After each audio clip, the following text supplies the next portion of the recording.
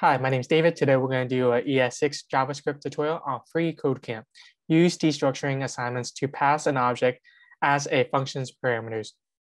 So we can destructure an object in a function as well. And remember that we destructure to get the variable names and the scope to inside functions as well. So here we are looking at, we're creating a variable profile update and passes through a parameter profile data, and we const name, age, national, nationality, location from profile data. So we assume this is an object and we get these values from that object. Now we can also put this inside of here too. So we just strictly just get the name, age, nationality, locations from it and use those to do whatever function you want to do.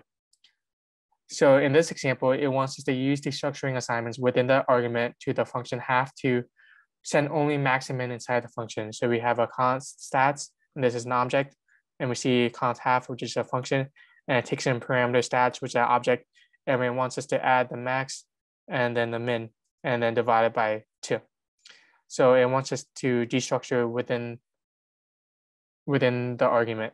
So here, instead of stats, we can just pass through max comma min. So we pass through this object rule and getting these values.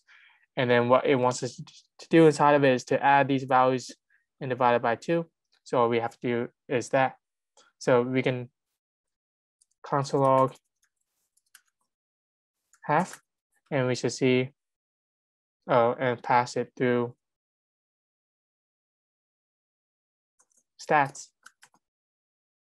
And we see 56 plus min and divide by 2. That looks about right. So that'll be it for this one. Thank you so much.